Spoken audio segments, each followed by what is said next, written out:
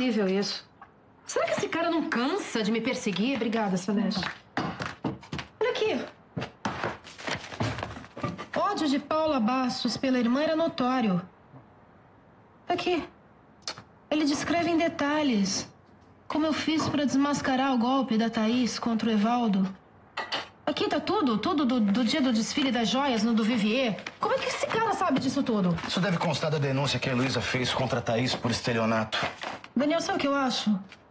Eu acho que tem alguém passando essas informações pra ele. Não, sinceramente. E acho que é mais. Acho que é alguém que a gente conhece.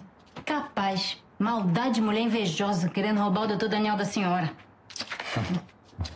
Fico lisonjeado, Celeste, mas quem queria fazer isso já não tá mais entre nós. É, mas pode ser alguém querendo desviar a atenção de outro suspeito.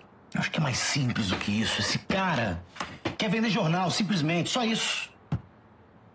É porta de cadeia. Deve conseguir isso lá na polícia mesmo, lá na delegacia. Doutor Hélio me pareceu um delegado sério, mas de repente ele tem um cupincha na delegacia, sei lá. Será? Porque sensacionalismo eu até entendo.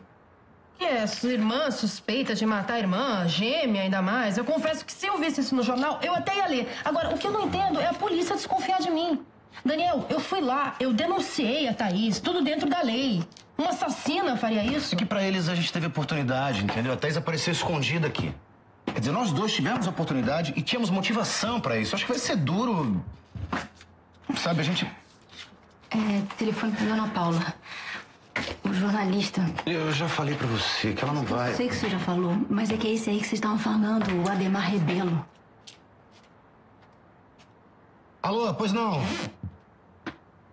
Olha, ninguém aqui nessa casa tem nada pra dizer pra você. Tá bom? Inferno. Cara, eu tô querendo entrevistar você. Ô, Daniel, será que não era melhor falar com ele?